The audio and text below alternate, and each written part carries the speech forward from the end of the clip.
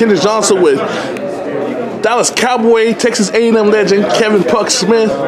Kevin, give us some insight on fantasy football. What's your take on fantasy football? Well, I, I love it. I've, I've, actually played it the last three years, you know. But my biggest deal is uh, the group I play. Actually, I play with the coaches from West Orange Stark. Earl Thomas is a part of. Him and his brother Seth is a part of the group that we play with but I missed the draft every year. So luckily though, last year I ended up because he wasn't as hot at first with Carson Wentz, and I had Deshaun Watson. But we both know what happened to both of those quarterbacks. They got hurt and they were out. So the, my biggest deal is I miss. I hate when I miss the off weeks, and you know, and, and forget to substitute the players.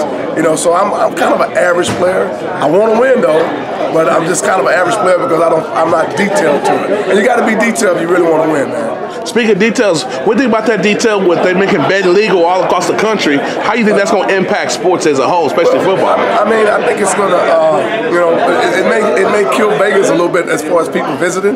You know, you don't have to go to Vegas and place those bets, but you know, you, you had a lot of. Uh, you know, you had a lot of, uh, I guess, uh, illegal shops. You know, now they can, you know, it's a way to generate uh, tax. They can tax the, uh, you know, the, the, bets, and it's a way to make some money.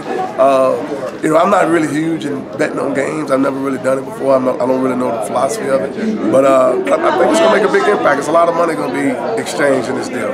You think we may have a scam with somebody um, saving some points sooner or later at the professional level? I you think it's not. I mean, I, hope, I, hope, I don't want. I don't want to even go down that road. You know, you don't even think that that's happening because you know it's happened before, and you know, in, in different sports, and you know, especially college basketball is probably one that sticks out more um, you know, Arizona State deal, and uh, you know, you go back in the '70s, they had other uh, deals, but you know, I don't, I, I, would hope that that wouldn't be the case. You know, uh, you know, gambling has been around. It's been in the points been out since Jimmy the Greek was yelling at when I was when we were younger.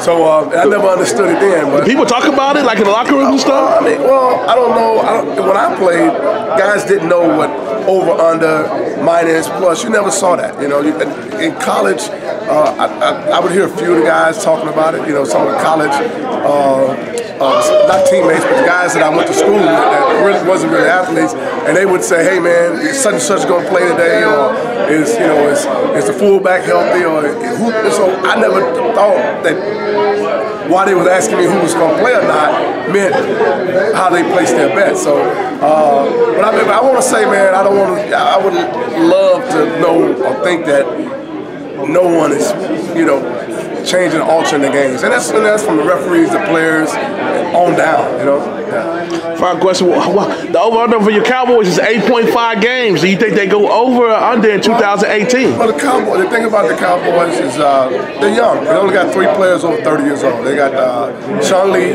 which, you know, if he can keep stay healthy, uh, we got uh, the, the, kicker, Bailey is 31, I think, and then the long snapper. So outside of that, they're young. They're real young. And, uh, you know, the, the question is going to be they, they, they, may need to. Jason Garrett is not young. He's been there a while, and the coaching staff, you know, part of the coaching staff has been there a while. So there's some expectations uh, of them. You know, uh, you know, eight or nine games is probably what uh, ten games is what Jason's gonna need.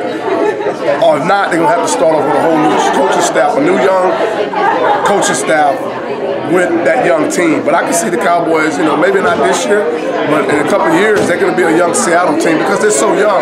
If they can keep it together and gel together, it's going to be pretty good. You think they're going to go over that 8.5?